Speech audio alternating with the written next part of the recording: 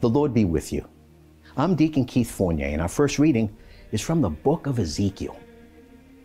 If the wicked, however, renounces all the sins he has committed, respects my laws, and is law abiding and upright, he will most certainly live.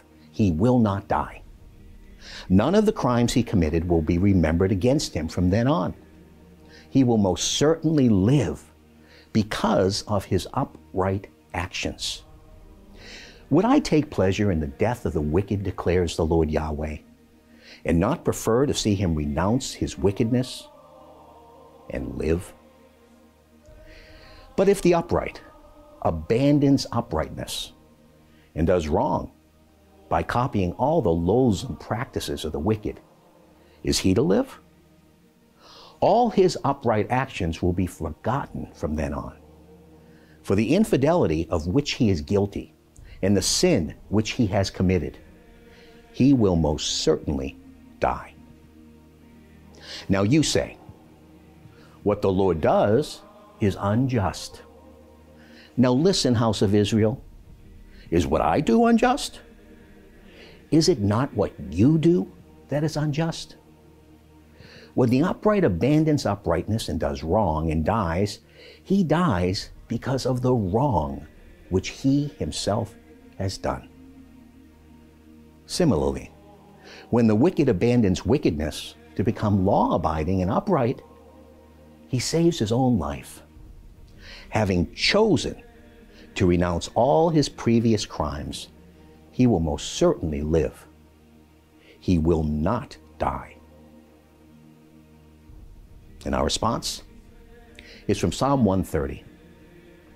From the depths I call to you, Yahweh. Lord, hear my cry. Listen attentively to the sound of my pleading. If you kept a record of our sins, Lord, who could stand their ground? But with you is forgiveness, that you may be revered.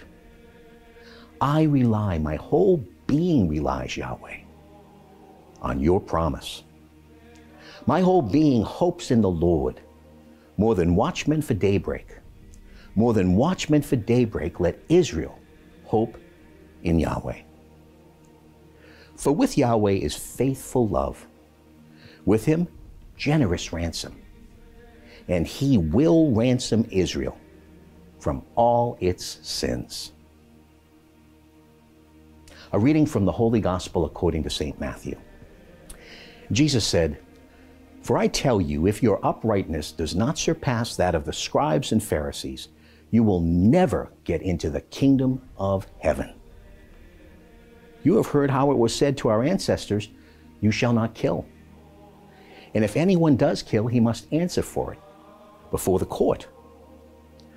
But I say this to you anyone who is angry with a brother will answer for it before the court.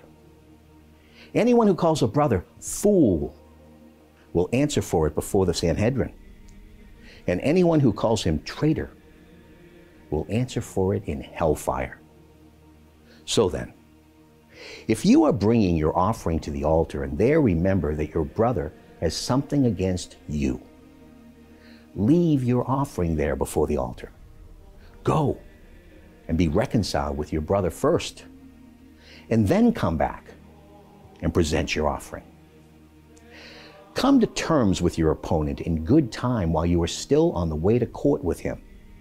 Or he may hand you over to the judge, and the judge to the officer, and you will be thrown into prison. In truth, I tell you, you will not get out till you have paid the last penny. The Gospel of the Lord.